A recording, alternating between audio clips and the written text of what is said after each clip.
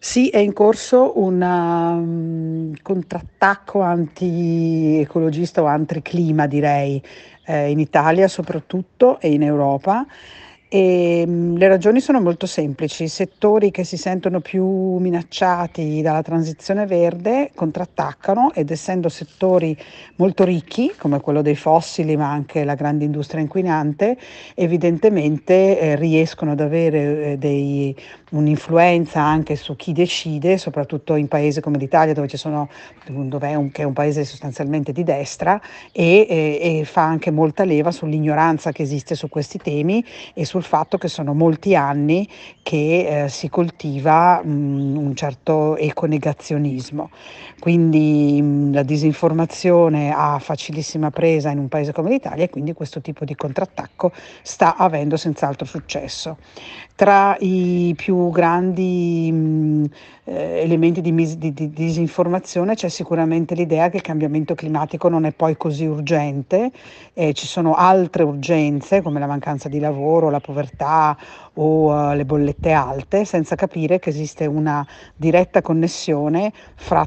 questi, tutti questi problemi e uh, i cambiamenti climatici. Ed è su questo che noi ambientalisti non siamo riusciti ancora a convincere i nostri concittadini, anche perché ehm, il Covid ha sicuramente avuto un impatto estremamente negativo sulle mobilitazioni dei giovani, che sono quelle che hanno portato poi al... Um, a facilitare l'adozione del Green Deal e eh, i nostri rappresentanti politici che eh, in teoria dovrebbero difendere queste, queste, posizioni sono ancora molto deboli, quindi abbiamo da fare, rimobilitare e riportare la politica ecologista al centro del dibattito italiano.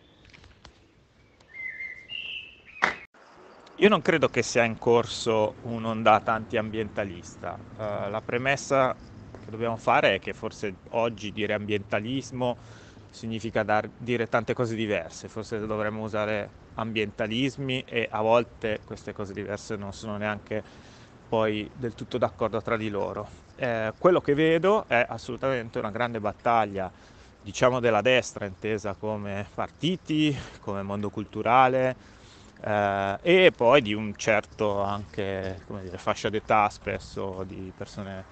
eh, diciamo piuttosto anziane contro il Green Deal, i provvedimenti dell'Unione Europea che ricordiamo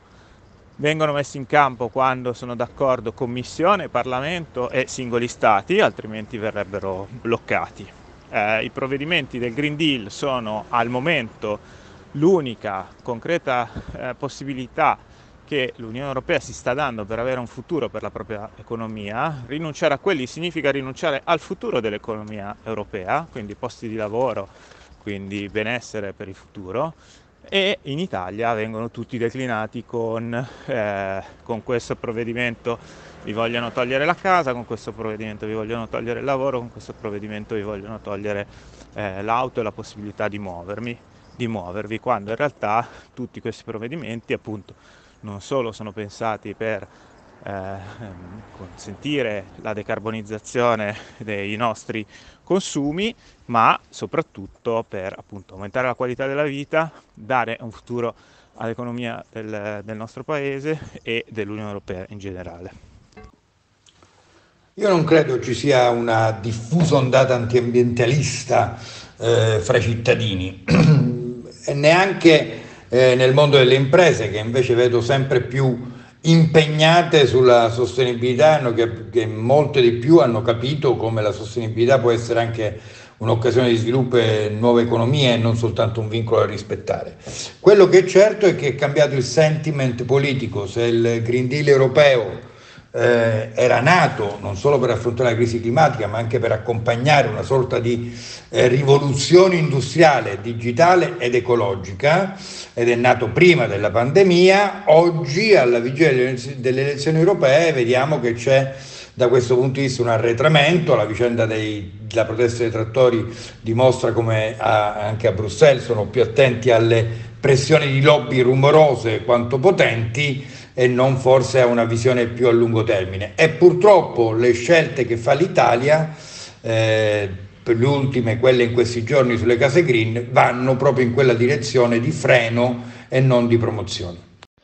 Uno dei punti principali su cui si spinge, diciamo così, nell'antiambientalismo attuale, che poi anche la parola ambientalismo è un po' superata, nel senso che fare la transizione ecologica ed energetica cambierà tutti gli aspetti della vita. Si spinge per esempio sul fatto che perderemo tanti posti di lavoro, sul fatto che costerà molto, ma in realtà tutti gli studi, tutto quanto ci dice che se noi questa transizione la facciamo in maniera equa, i posti di lavoro saranno molti di più. E secondo gli analisti fino al triplo dei posti di lavoro rispetto per esempio a un'economia fossile dove guadagnano in pochissime persone e poche aziende giganti fossili, mentre invece Sappiamo che facendo eh, pannelli solari distribuiti, comunità energetiche, anche tanti impianti, eh, questa cosa qua può favorire e garantire maggior sicurezza energetica e costi più bassi dell'energia alle persone anche più affidabile e soprattutto anche meno guerre fossili che poi vanno a pagare i dittatori fossili. Quindi insomma non solo è un grande, di, un grande piano di pace la transizione ecologica, ma ci conviene farla anche dal punto di vista economico.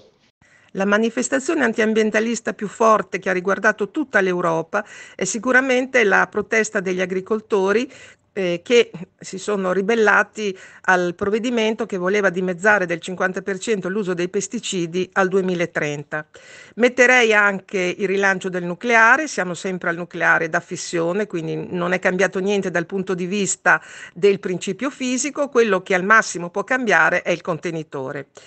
Il cambiamento climatico, da, d'altra parte, è sotto gli occhi di tutti, ma l'idea appunto di contrastarlo con il nucleare non ha senso perché appunto i tempi di costruzione e i costi sono pazzeschi. Io metterei anche eh, a fuoco il libro di Bruno Latour e Nikolai Schulz che ha messo in evidenza come al movimento ambientalista sia mancata l'identificazione di una classe sociale di riferimento per il socialismo e la classe operaia, per il neoliberismo e la classe imprenditoriale, il movimento ambientalista non ha individuato una classe climatica cosiddetta.